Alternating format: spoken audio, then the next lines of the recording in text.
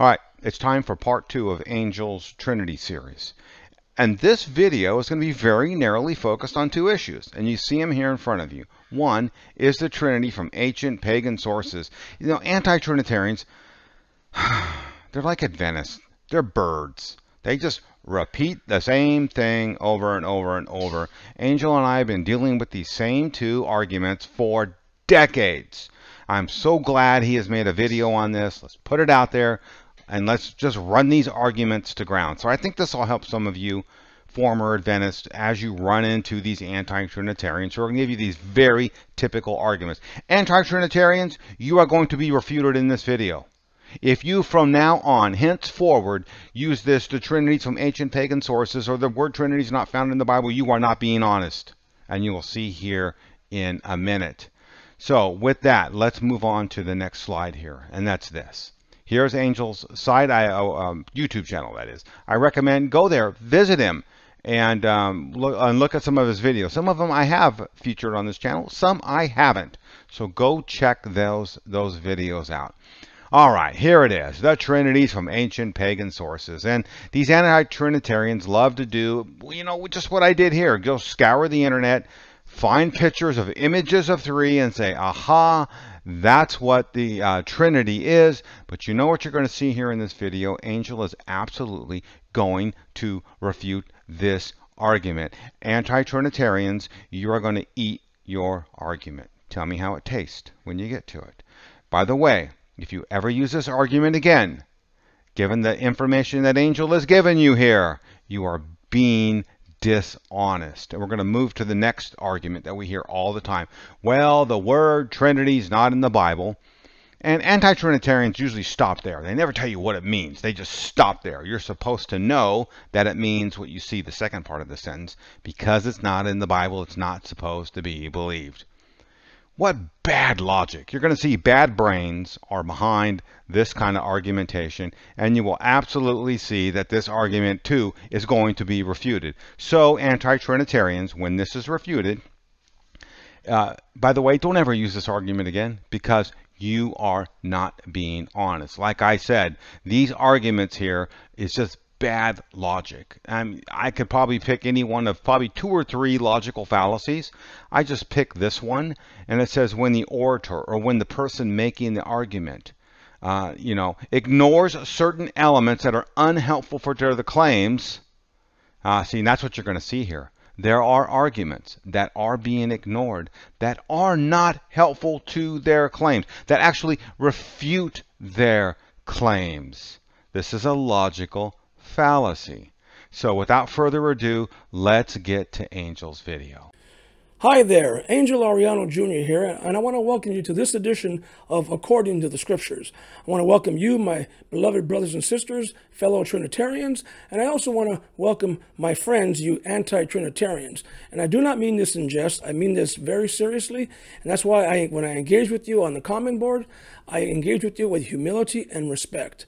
But there are a couple things that I want to cover before I talk about the content of this video, very, very briefly.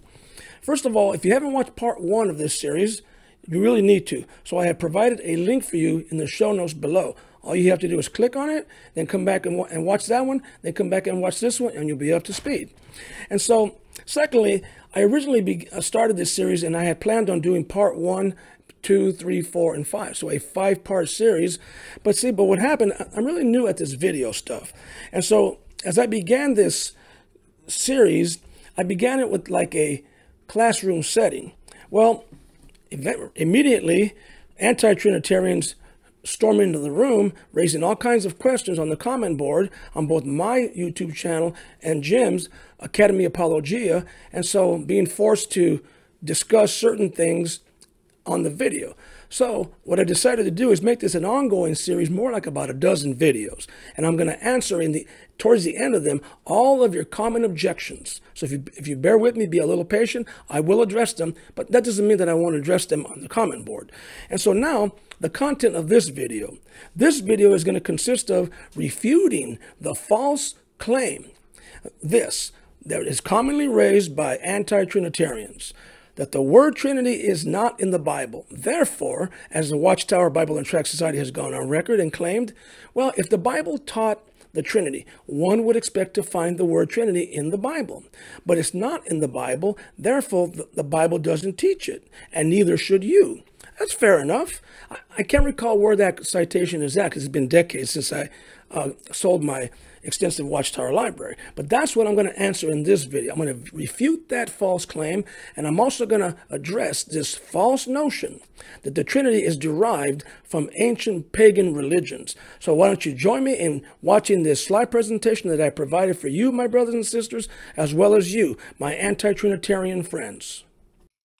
One of the common objections that anti-Trinitarians often raise against the doctrine of the Trinity is that the word Trinity is not in the Bible. Therefore, we are told it is not a biblical teaching. In fact, some anti Trinitarians are adamant about this. I have seen this objection raised on the comment board to my first video in this series, on both mine and Jim's channel, Academy Apologia. Well, just because the word Trinity is not in the Bible, does this mean that the Bible does not teach it? Absolutely not. And here's one at least one good reason why. The argument that the word Trinity is not in the Bible is a two edged sword that cuts both ways. And I'm going to explain this in a moment. But before I do, I want to say to all you naysayers out there, all you anti Trinitarians who use this argument, you need to drop this two edged sword. And I'm going to show you why. This argument is a self refuting statement. In other words, it is fallacious, and here's why. The argument that the word Trinity is not in the, in the Bible cuts both ways. Let me explain what I mean by this. Let's take the word sin, for example. The word sin does not occur in Genesis chapters 2 and 3. Yet the whole world, including non Christians, know from a simple reading of these two chapters that Adam and Eve sinned in the garden. So the concept is present in these two chapters. However, the word is not found anywhere in the two chapters that record the fall of man. Moreover, there are eight different Hebrew words that convey the concept of sin, and they are presented there before you. So, eight different Hebrew words for the concept of sin, and yet not one of them can be found in these two chapters. However, we all know that the concept is there. Therefore, this proves that a concept can be present despite the absence of the word for it. So, although the word sin is not in Genesis chapters 2 and 3, this does not mean that these two chapters do not teach that Adam and Eve sinned. And likewise, although the word Trinity is not in the Bible, this does not mean that the Bible does not teach it. So, what I'm saying is that, the same unbiased rule must apply to each of these words. Therefore, as I stated a moment ago, a concept can be present despite the absence of the word for it. Returning to the anti Trinitarian argument, the very same argument that anti Trinitarians launch against the doctrine of the Trinity applies to the absence of the word in Genesis chapters 2 and 3. According to their line of reasoning, since the word sin is not in Genesis chapters 2 and 3, these two chapters do not teach that Adam and Eve sinned. But we know that this is not true because the concept is there. And this is all that the Christian church has maintained for centuries concerning the doctrine of the Trinity. Although the word Trinity is not in the Bible, the concept is. Therefore, just because the word Trinity is not in the Bible, this does not mean that the concept is not there. I am going to cite a few other examples of this, but if you're an anti Trinitarian, please don't go anywhere because I'm going to conclude these examples with one which you are absolutely going to love. Another word that is not in the Bible, which many anti Trinitarians use, is infallible. Speaking of God's word, this word is not in the Bible, and they believe that the Bible is infallible. So, according to their own argument, the Bible does not teach that the word of God is infallible. Incidentally, the same is true of the word inerrancy. Next, we have the word Bible. This word is not in the Bible either, but anti Trinitarians use it all the time. But according to their own line of reasoning, since the word Bible is not in the Bible, the Bible does not teach the idea of a Bible. Next, we have the word organization. Jehovah's Witnesses are very fond of using this word to describe their leaders in Brooklyn, claiming that God has always had an organization to lead his people. Well, The word organization is not in the Bible in the sense that they use the term. Therefore, by their own line of reasoning, the Bible does not teach that God has an organization to lead his people. And so, this is what I mean by a self refuting statement. And so, according to their own line of reasoning against the doctrine of the Trinity, we'll apply it to this. If the Bible taught that God has an organization to lead his people, then one would expect to find the word there in the sense that they use it. But it is not in the Bible, so according to their own rule of reasoning, the Bible does not teach it, and neither should they. And now, all of you anti Trinitarians out there who use this argument, here is the example that I told you you were going to love. And it's going to be one that carries the most weight because this one cuts in two ways, but in the same direction. In other words, it cuts into two of your arguments, one of which is one of your favorite arguments against the doctrine of the Trinity. And speaking to my Christian brothers and sisters, this is an added bonus argument for you. The same argument that anti Trinitarians lodge against the doctrine of the Trinity applies to another one of their arguments that the Trinity is derived from ancient pagan religions. Well, guess what? I want to preface my answer to this by noting something that the Watchtower Bible and Tract Society stated decades ago. The Watchtower Society has gone on record and maintained that if the Bible taught the Trinity, one would expect to find the word Trinity in the Bible. Well, this same argument can be applied to the anti Trinitarian argument that ancient pagans believed in some sort of a Trinity. If this is true, then one would expect to find the word Trinity in pagan religious writings. But guess what? The word Trinity is not found in pagan religious writings, not a single one of them. Therefore, anti Trinitarians' own argument against the doctrine of the Trinity refutes their claim that the Trinity is derived from ancient pagan religions. The word Trinity is not in the Bible, nor does it occur in any ancient pagan religious writings.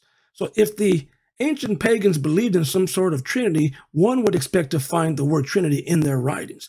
But search as they may, and anti Trinitarians will not be able to provide at least one example where the term Trinity appears in ancient pagan religious writings. Therefore, by anti Trinitarians' own line of reasoning, since the word Trinity is not found in ancient pagan religious writings, these pagans did not believe in some form of a Trinity.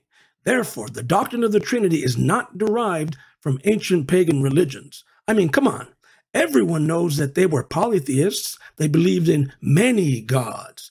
Therefore, this is an empty claim, a self refuting statement on the part of these anti Trinitarians. So please, all of you anti Trinitarians who use this fallacious line of reasoning, drop this two edged sword and stop using this fallacious line of reasoning. Now, I'm certain that many of you anti Trinitarians will bring the countless ancient wall inscriptions containing three pagan deities. Well, guess what? Again, do inscriptions like this prove that ancient pagans believed in a trinity? Nothing could be further from the truth, and I'm going to prove this in detail. In part four of this series, I have devoted an entire video on this subject encompassing temple wall inscriptions in ancient Egypt, the ancient Near East, and Mesopotamia, demonstrating that inscriptions containing three gods can be used to make it appear that ancient pagans believed in a trinity. But I'm going to exploit this misconception, so be sure to come back, all you anti Trinitarians, and watch this one. But before we get to that one, we're going to look at some other religions that deny the doctrine of the Trinity in my next video, because this is what I promised in the first video, and we're going to focus on Seventh day Adventism and a couple of individuals who have crept in unnoticed into the church. So before I bring this video to a conclusion, I want to briefly summarize what we have learned today. Although the word Trinity is not in the Bible, the concept is. Therefore, I want to encourage all of my brothers and sisters around the world who have watched this video. First of all, I have provided you with several words that are not in the Bible, which many anti Trinitarians use, despite the fact that they are not in the Bible, which you can use to refute their objection that the word Trinity is not in the Bible. And secondly, we have learned that a concept can be present in the Word of God despite the absence of the word for it. And thirdly, we have learned that the word Trinity is not found in any ancient pagan religious writing. So if an anti Trinitarian tries to use both of these arguments, you know how to refute him. He can't, on one hand, argue that since the word Trinity is not in the Bible, this proves that the Bible does not teach it. And then on the other hand, claim that ancient pagans believed in the Trinity because the word Trinity is not found in their writings either. So remember, ancient pagans were polytheists. They believed in many gods. And now I want to say something to all you naysayers, you anti Trinitarians who use the argument that the Trinity is not in the Bible so this proves that the Bible does not teach the Trinity. You really need to drop this two edged sword and use arguments that are cogent and can be sustained, because, like I've demonstrated, a concept can be present despite the absence of the word for it. This is a fact, and it is undisputed. And so until next time, this is Angel Ariano Jr., reminding you always, my brothers and sisters, to do all things according to the scriptures.